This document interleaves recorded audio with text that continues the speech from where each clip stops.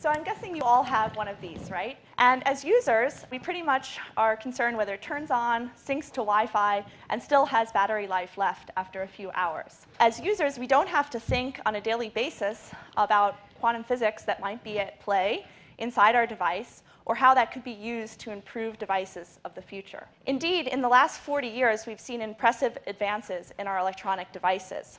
But in certain components, like the display and the battery, if we go down to the level of atoms, there are still things we do not understand. And in order to move beyond trial and error-based engineering to systematically optimize devices of the future, we need to understand what is going on inside. This is what my research group focuses on, looking at the physics behind these technologies. So the challenge here, but also the opportunity, is that materials in today's technologies are often very, very small.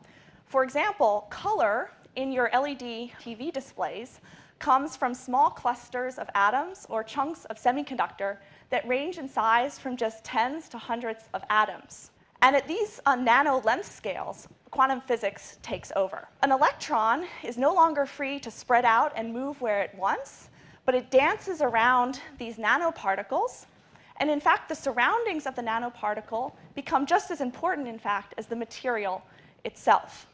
We perform experiments at large-scale facilities around the world to understand these new regimes of physics, and also perform computations at supercomputing clusters that would have taken decades to complete just a few years ago. And with this new knowledge, we and other research groups around the world are beginning to be able to design nanoparticles for a range of applications, including electronics, medicine, um, and energy generation and storage. So here what you see, for example, is um, nanoparticles targeting cancer tumor and destroying it. So let me give you another example. If you make some materials smaller than 50 nanometers in diameter, they become super paramagnetic, which means they interact strongly with permanent magnets. And we've used these sorts of materials to improve lithium ion battery technology. So indeed, batteries are one area where trial and error engineering has driven the improvements we've seen in the last 25 years. And in part, this is due to the fact that batteries are like black boxes. This is why my research group has developed X-ray-based techniques to look inside batteries as they operate, so we can see what the problems are and which solutions work.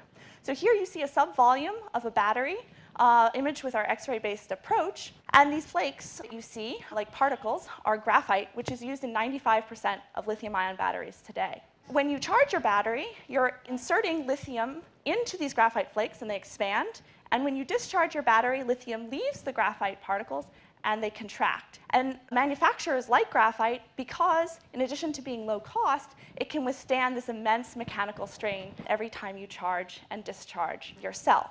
So what we figured out with our X-ray-based approach is that actually it's this flake-like shape of graphite that makes for a long and complicated path along which your lithium atoms have to travel.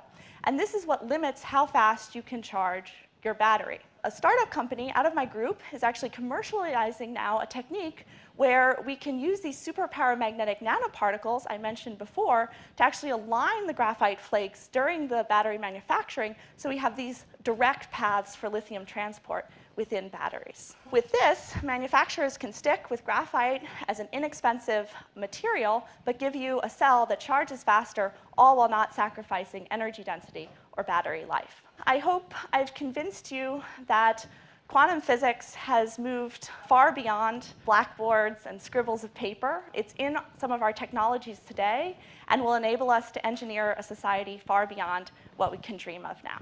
Thank you very much.